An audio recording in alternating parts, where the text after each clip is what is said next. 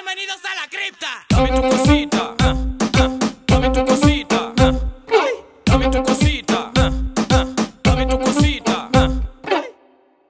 And his name is John C.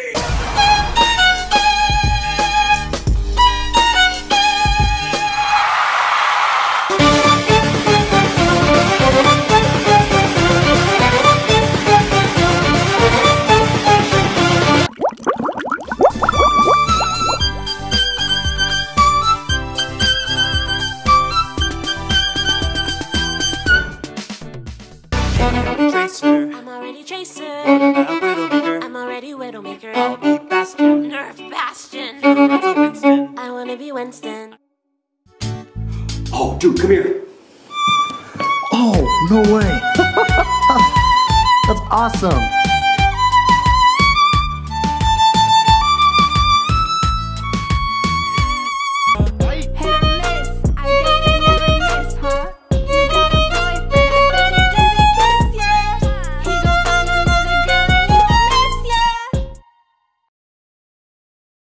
Does your life seem dull, miserable, and boring because you're using grandma's old rosin? Do you find that your rosin just doesn't seem to stick? Or do kids make fun of you because you play the violin? Hello, McFly. Well, we've found the solution to all of these problems. Introducing Vivid Rosin, the only rosin in the world to color bow hair.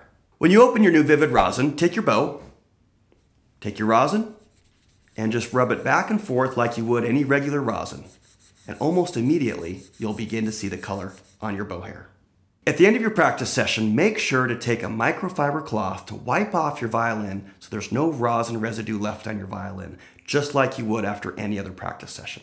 So get it today and become the coolest kid in your orchestra.